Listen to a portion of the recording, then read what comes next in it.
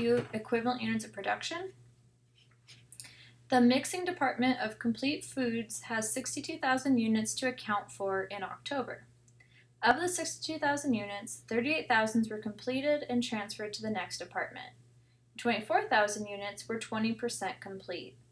All of the materials are added at the beginning of the process. Conversion costs are added evenly throughout the mixing process, and the company uses the weighted average method. Compute the total equivalent units of production for direct materials and for conversion costs for October.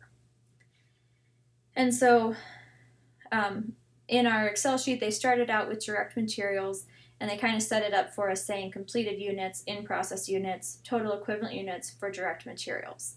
And so as far as completed units go, there was 38,000 units completed. And that's obviously times 100% because they've been completed and transferred, so it has to be 100% complete. And so 38,000 times 100% is 38,000. Of the in process units, there's 24,000 units.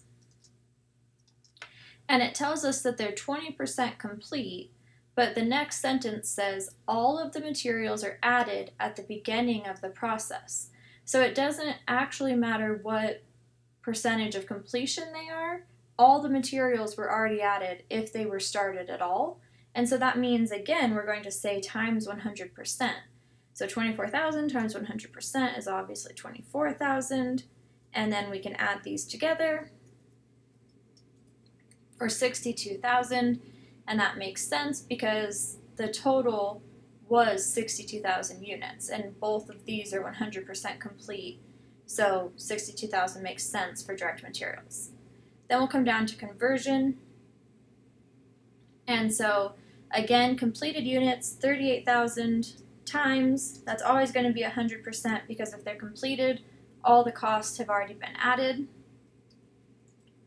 And then the in-process units, this is where we need to know they're 20% complete and conversion costs are added evenly throughout the mixing process. So that means we need to multiply that 24,000 times the 20% conversion.